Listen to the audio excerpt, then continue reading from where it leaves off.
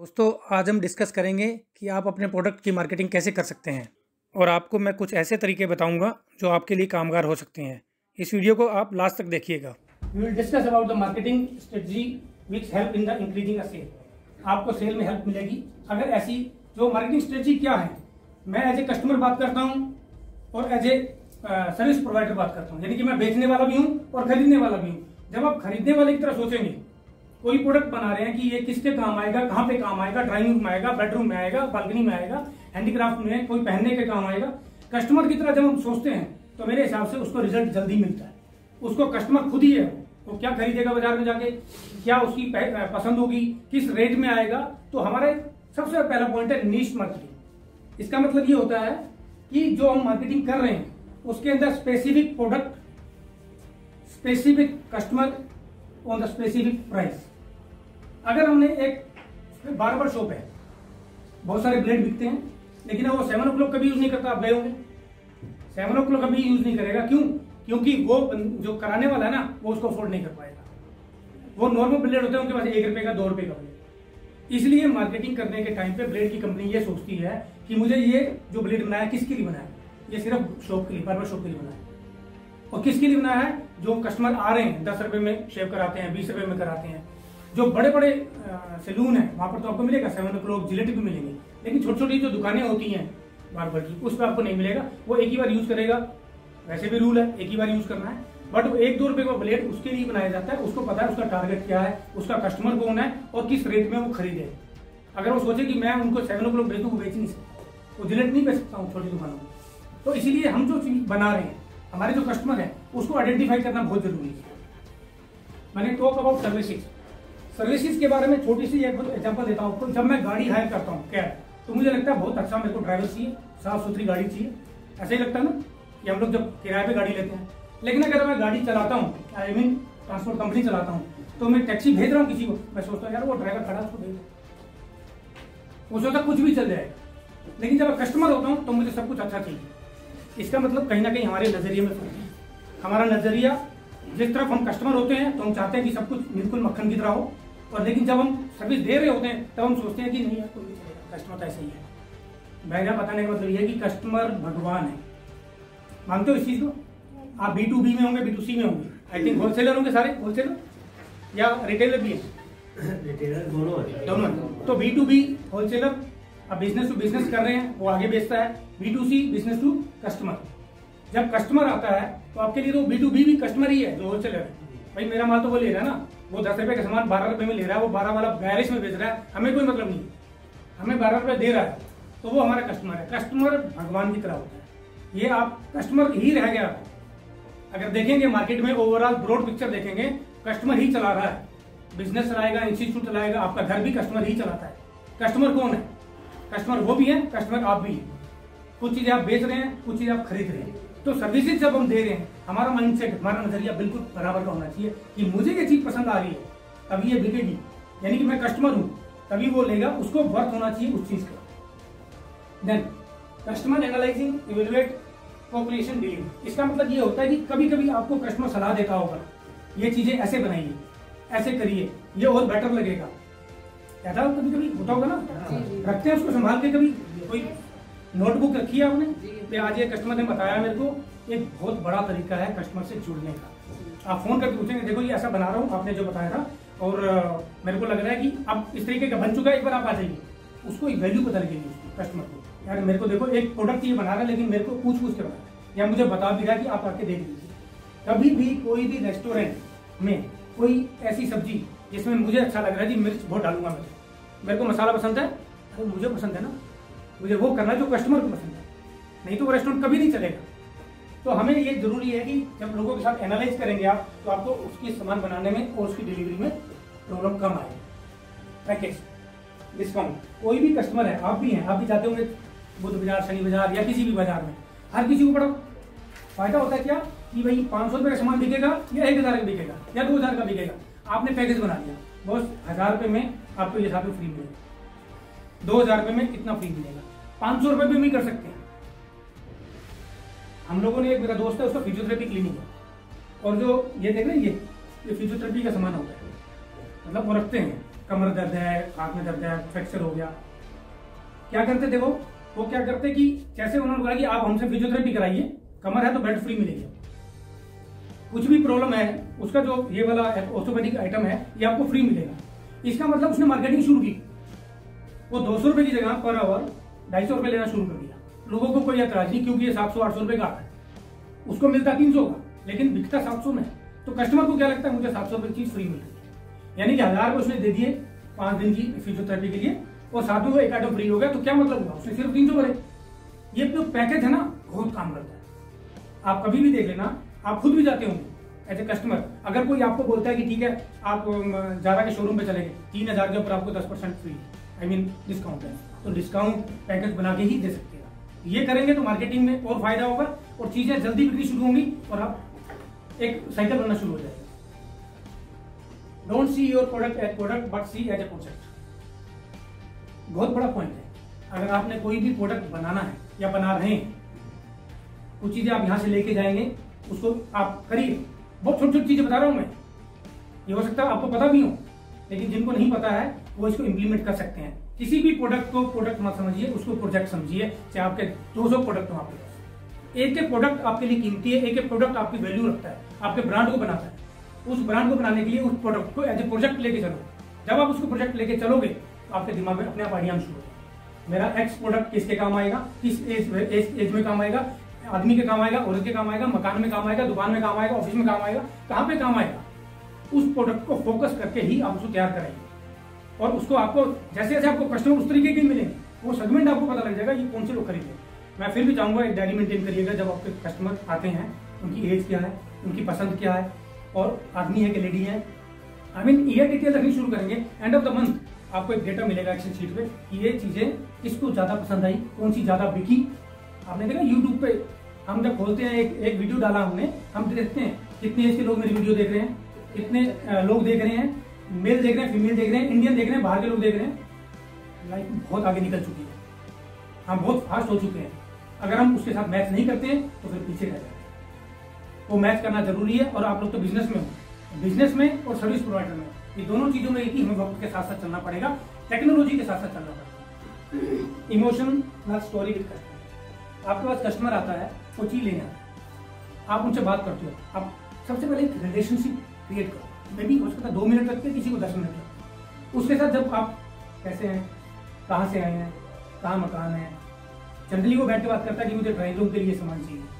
मुझे ये सामान चाहिए। अच्छा कितना बड़ा है, किस कलर का है, बैकग्राउंड किस कलर की है, उसके अंदर स्पेस कितना मिलेगा आपको? जब आप बात करोगे, उसको लगेगा कि थोड़ा आप अटैच होना शुरू हो गए। कस्टमर दस रुपये एक्स्ट्रा देके मतलब दुखी नहीं होता लेकिन उसके साथ आपको एक रिलेशन वो अगली बार भी आपके पास ही आएगा। आपने देखा होगा कि बहुत सारे रेस्टोरेंट होते हैं, हल्दीराम की दुकान बहुत चलती है, या जिनके नाम होते हैं, उन्होंने अपना एक टाइम में बना लिया। आपका भी ब्रांड जब बन जाएगा उसके बाद आपको मेहनत कम करनी पड़ेगी, लेकिन ब्रांड बनाने के लिए आपको लोगों से इमोशनली अटैच होना पड़ेगा। एक एनजीओ वाले मेरे पास आए, बोले कि हम देख रहे हैं कि बच्चे जो हैं, छोटे बच्चे, जो भीख मांगते हैं, खाना नहीं मिलता है, उनको क्या किया जाए? हम उनके लिए कुछ काम करना चाहते हैं। बोले कि मैं कुछ दिन पहले जा रहा था तो एक डस्टबिन से निकाल के एक बच्चा सेब निकाला उसने। वो 80 परसेंट सड़ा हुआ था। तो उसने 20 परसेंट की तरफ़ देखा और उसको खाना शुरू कर दिया। तो मुझे लगा, यार, बच्चों के लिए कुछ करना चाहिए। जब वो मेरे पास आया डोनेशन के लिए तो क्या मैं मना कर सकता हूँ? यानी कि उसने मेरे को इमोशनल एक तरह से ब्लैकमेल किया? तो वो जो चीज़ें होती हैं, आपको अपने बिज़नेस में लेके आनी है। बिज़नेस के अंदर बहुत सारी चीज़ें होती हैं। जब तक कस्टमर से आपकी अटैचमेंट नहीं है ना, आपका व्यवहार अच्छा है, सब कुछ अच्छा है, उससे अगर अटैचमेंट होगी तो आपको लगेगा कि आप सक्सेसफुल भी हो रहे हैं, लोग आपके तरफ़ आपकी तरफ़ आना शुरू हो गए। तभी तो बोल रहा हूँ माइंड के अंदर बिठा लो। क्यों? क्योंकि उसके बगैर आपका गुजारा नहीं है। हमारा गुजारा नहीं है ना कस्टमर के बगैर। मैंने देखा लोग बैठे हैं, दुकान पे जाता हूँ टेबल पे रखा हुआ। हाँ जी। हाँ भी निकाल दे। हाँ ये निकाल दे, खुद नहीं ले। ऐसा?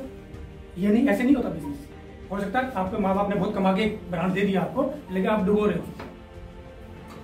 इसलिए कस्टमर से अटैच होना है तो पहले अपना व्यवहार ठीक रखिए, अपनी प्रेजेंटेशन ठीक रखिए।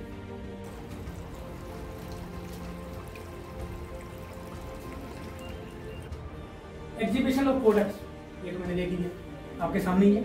आप जितने भी हैं, आपकी एक एसोसिएशन होगी, आपका एक ग्रुप होगा, हो सकता है कुछ लोग अलग माइंड के होंगे, कुछ लोग अलग माइंड के होते हैं, लेकिन ज़रूरी है ट्रेड फेयर क्यों लगता है? ट्रेड फेयर इसलिए लगाया जाता है कि दुनिया भर के प्रोडक्ट आपके सामने आते हैं तो शायद अभी तक इंडिया में होंगे होंगे भी नहीं वो आ जाते हैं। तो ऐसे ही करके आप अपने एरिया जितने एरिया हैं आपके, उस एरिया के अंदर अपने लोगों को इकट्ठा रखें, बना के रखें दोस्तों। राइवल ज़रूर है बिज़नेस में। पर्सनल राइवलरी कुछ नहीं होती। है पॉलिटिशियन देखा हमने बीजेपी कांग्रेस में इकट्ठे बैठते हैं, खाना खाते हैं। फिर वोटिंग के टाइम पे वो राइवल होते भाषण देने के टाइम पे राइवल होते इसका मतलब आप अपने बिज़नेस को कैसे बढ़ाना है, बिगाड़ के तो बना नहीं सकते सबसे बना के रखिए उनसे प्लान करिए कि देखो ऐसा है, हम लोग एक यहाँ पर अपने अपने एरिया में एक फेयर लगाते हैं, मेला लगाते हैं, और उसके अंदर पचास लोग हैं। पचास लोगों में हो सकता है कोई स्पॉन्सर भी मिल जाए आपको। इस तरीके से लोग अट्रैक्ट होंगे परचेस होइए जो भी आप मार्केटिंग जिस तरीके से भी करना चाहते हैं वो करिए। लेकिन अगर आप, आपके इस एरिया में पॉपुलर होना है या ब्रांड बनाना है, उसके छोटे छोटे स्टेप पर सब करना पड़ेगा इंप्लीमेंट करना कि किया आप लोगों ने कभी अपने लोकल एरिया में? कौन कौन से स्टेट से आए यहाँ? गुजरात से? और इंडिया से हमारे वही मैं हूँ। साउथ से कौन कौन साउथ से कौन वो तो वेस्ट से हो गए। नॉर्थ से कौन है? कहाँ कौन से स्टेट से? आप? आप? अपनी मतलब स्टेट से हैं। तो आपके स्टेट के अंदर एक एसोसिएशन होगी हैंडीक्राफ्ट की। उन लोगों से आप मिलते हैं कभी? चाय पानी होता कभी? जी। चाय पानी मैं कह रहा हूँ ये बहुत अच्छे आइडियाज़ होते हैं। आप मिलते हैं पर चाय पानी नहीं मिलते हो ना? हाँ, उस वक्त जब मिलते हैं आप ना तो आप लोगों बात करते हैं। देखो आज यहाँ पर आप आए चार पाँच घंटे आपने कुछ ना कुछ नया लेके जाए किसी भी सेशन से कुछ ना कुछ नई चीज़ मिलेगी। इंसान किसी के साथ दस मिनट बैठ जाता है ना कुछ भी मत सुनो लेकिन कुछ ना कुछ निकल आएगा। कभी भी देख लेना। हम किसी बच्चे के साथ भी बैठ जाते हैं तो भी कुछ ना कुछ हमें नया मिल जाता है। कल क्या सुन रहा था मैं। एक मैं सुन रहा था कि बच्चा बोलता है कि मुझे तमीज का नंबर चाहिए। बोलते क्या करेगा? वो तो लोग कहते हैं तमीज से बात करो। लोग बार बार कहते हैं तमीज से बात करो। अब मैं कहीं सुन रहा था देखो मैंने सुना लेकिन मेरे को एक नहीं हुआ बहुत अच्छी चीज़ है।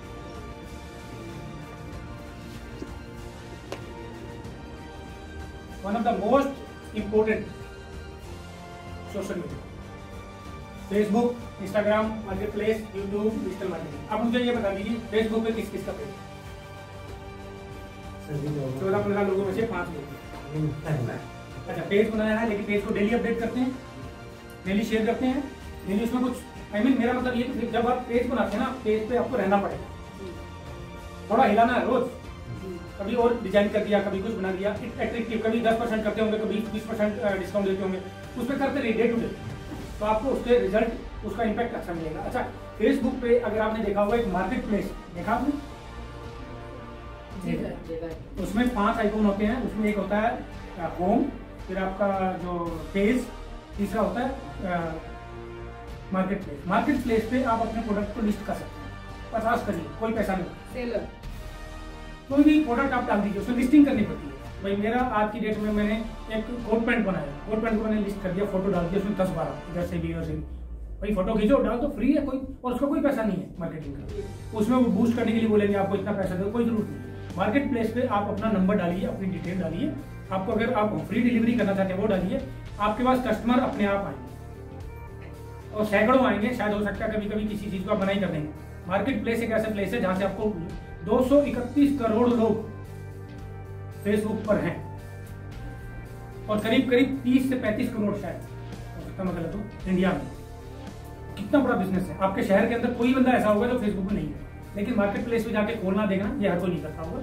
लेकिन आपको फिर भी बिज़नेस बहुत मिलता है। जो पेज आप बनाते मिलता है तो सोशल मीडिया आप वो आदमी खत्म हो जाएगा जो ऑनलाइन नहीं करेगा। आने वाले वक्त में मे बी एक साल दो साल तीन साल इतनी ज़्यादा फास्ट डिजिटलाइजेशन हो रहा है कि अगर आप ऑनलाइन कुछ नहीं कर रहे हैं अपना प्रमोशन नहीं कर रहे हैं तो आप फिर गली गली जाके थोड़ी बोलेंगे मेरे सामान लीजिए व्हाट्सएप पे करते होंगे कहीं ना कहीं तो करते ही होंगे। ऑनलाइन न्यू मैसेज पे जाकर मेरा मार्च से आया हुआ था एक इंक्वायरी आई थी न्यूज़ पेपर में। तो वो मैंने देखा अभी थोड़े दो महीने पहले देखा मतलब एक महीना पहले देखा। तो इतना बड़ा ऑर्डर था और वो। जब मैंने उनसे बात करी ना बहुत बड़ा ऑर्डर था। और मिलता है मतलब कहने का ये है कि मिलता और है। आपको मैं क्यों बोल रहा हूँ कि आप रोज खोलिए रोज देखिए इसीलिए बोलता हूँ क्योंकि आपको मिस कर अपडेट सकते तो करते रहते कोई पता नहीं किस दिन आपका कोई बड़ा ऑर्डर निकल जाए।